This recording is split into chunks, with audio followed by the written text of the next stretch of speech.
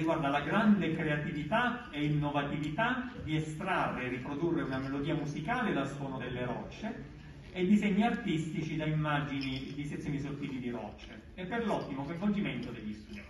Si è chiuso con il primo posto al concorso Giovane Geologo, un geologo e per la vita il lungo percorso che alcune classi del liceo Gravina hanno intrapreso durante quest'anno scolastico. L'attività è stata incentrata sulla collaborazione tra Unical e Liceo Gravina di Crotone una serie di professori dell'Università della Calabria, Dipartimento di Scienze della Terra, è stato ospitato dal nostro istituto eh, per relazionare sui temi eh, che riguardano il rapporto tra l'uomo e la natura. Frutto di questo intenso lavoro è stata la realizzazione di un video dal titolo Il canto delle pietre. A seguito di questi incontri, gli studenti, eh, presi gli stimoli lanciati dai professori universitari, hanno realizzato una vera e propria composizione musicale a partire dal rumore eh, ottenuto dall'urto tra queste pietre di diversa natura, rocce sedimentarie, rocce ignee, rocce metamorfiche. Sulle note prodotte dall'urto di queste pietre è stata realizzata una vera e propria composizione musicale. La narrazione di tutto questo progetto è stata effettuata dai ragazzi invece dell'indirizzo linguistico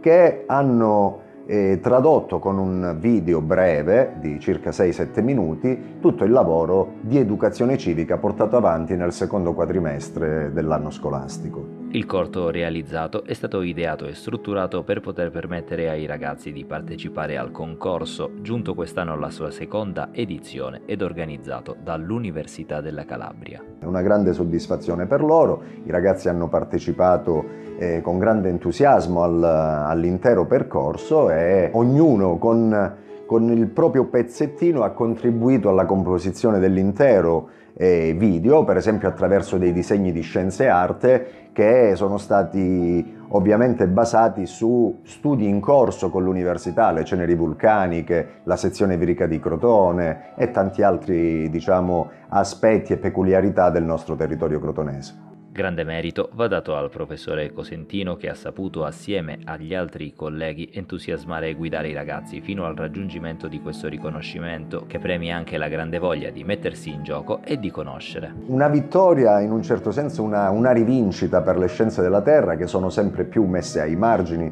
di una società sempre improntata più alla, eh, alla biologia, alle biotecnologie, tralasciando quello che è invece la nostra casa comune, appunto il pianeta Terra, la nostra madre Terra, che di fatto è quello che accomuna tutta la specie umana.